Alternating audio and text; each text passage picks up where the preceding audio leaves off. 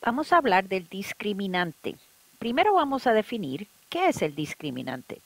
El discriminante, si recordamos la fórmula cuadrática, x es igual a negativo b más o menos la raíz cuadrada de b al cuadrado menos 4ac, dividido todo por 2a, el discriminante es el término dentro de la radical. En otras palabras, b al cuadrado menos 4ac. ¿Qué es lo que hace el discriminante?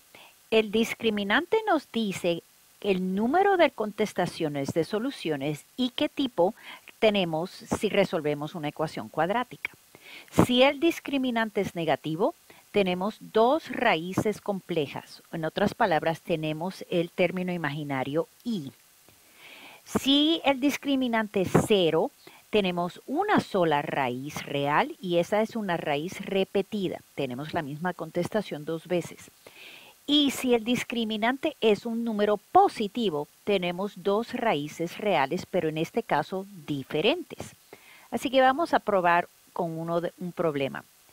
Determina el número y tipo de soluciones de la ecuación cuadrática 9x al cuadrado menos 6x más 2 es igual a 0. Primero vamos a identificar los coeficientes. A es 9, B es negativo 6 y C es 2.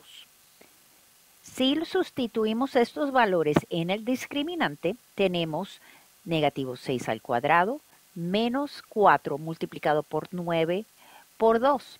Así que simplificamos usando la eh, orden de operaciones y tenemos la contestación 36 menos 72 que nos da un valor negativo.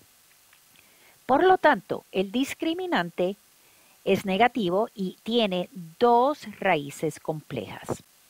Vamos a probar otro problema.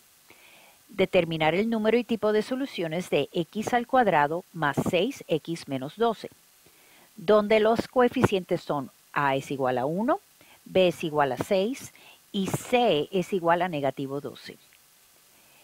Usando el discriminante tenemos que los valores sustituidos da 6 al cuadrado menos 4 por 1 por negativo 12, que cuando resolvemos tenemos 36 más 48, que es igual a 84.